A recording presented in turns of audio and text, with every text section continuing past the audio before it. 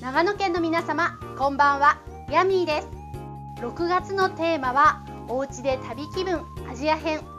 おうちご飯に楽しい工夫をプラスしてプチ旅行気分を味わいましょう。今日作るのは韓国の定番メニューチャプチェ。手間がかかる料理ですが手軽に時短で作っちゃいましょう。今日も楽しく3ステップクッキング。テップ1具材の下準備。春雨は熱湯につけて1分置き水気を切って3等分にカットします。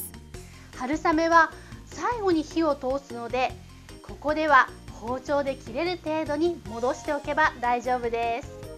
玉ねぎは薄切り絹さや人参は細切りにします。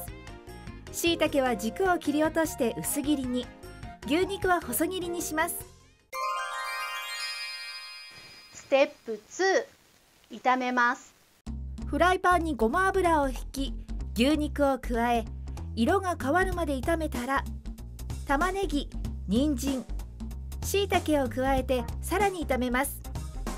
そこに醤油酒砂糖にんにく水を加えて混ぜ合わせます。ステップ3仕上げフライパンに絹さや春雨ごまを加え春雨が完全に戻るまで火を通せば完成です。春雨が具材の旨味をしっかり吸ってくれますよ。調理は1つのフライパンで済むので片付けの手間も減りそうですね。野菜がたっぷりだから彩り豊かで栄養も満点。つるつるっと食欲を刺激してくれる一品です。テレビの前の皆さんも3ステップで簡単ヤミー。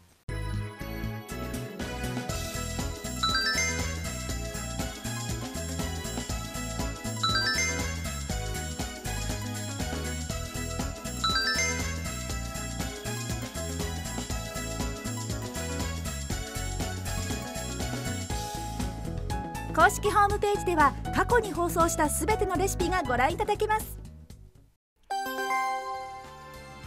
長野都市ガスでは6月1日から21日まで夏のガス店を開催中。家族の時間を楽しくしてくれるアイテムをガス店特価で買えるチャンス。会員だけの抽選会もウェブで開催。詳しくは長野都市ガスガス店ホームページにて。皆さんもガスで美味しい時間を過ごしてみませんか？プレゼンテッドバイ長野都市ガス